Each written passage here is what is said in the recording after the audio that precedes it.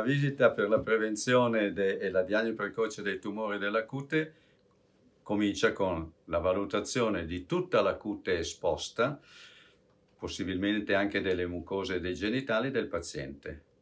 L'esame accurato e l'esperienza di chi li visita evidenzia eventualmente delle lesioni cutanee che vanno indagate con altro modo questo altro modo è la dermatoscopia come andiamo a vedere. Questa è la strumentazione che serve per la diagnosi precoce dei tumori maligni della pelle. È molto semplice, ma deve essere supportata soprattutto da una grande esperienza. Adesso vediamo che cosa vede l'occhio e che cosa vede il microscopio. La visita per la diagnosi precoce dei tumori della pelle e per l'eventuale prevenzione consiste prima di tutto in un esame globale dello stato di salute della pelle, del, del, in questo caso della paziente. L'esperienza di chi visita deve individuare delle eventuali lesioni che possono essere sospette.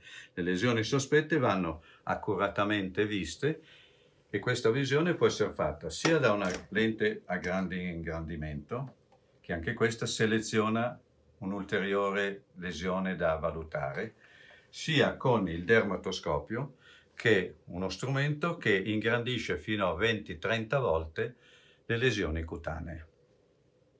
Questa valutazione ci permette, in base a dei criteri ormai standardizzati, di decidere se una lesione cutanea debba essere asportata o debba essere sottocontrollata o debba essere valutata a distanza di tempo. Con questa semplice metodica, oltre a poter conservare l'immagine, la si può studiare anche a distanza di tempo, se ne può studiare i colori, le caratteristiche di partner, le dimensioni e la struttura si possono vedere i cambiamenti che eventualmente avvengono a distanza di tempo. Questa è la prevenzione della comparsa di tumori della pelle.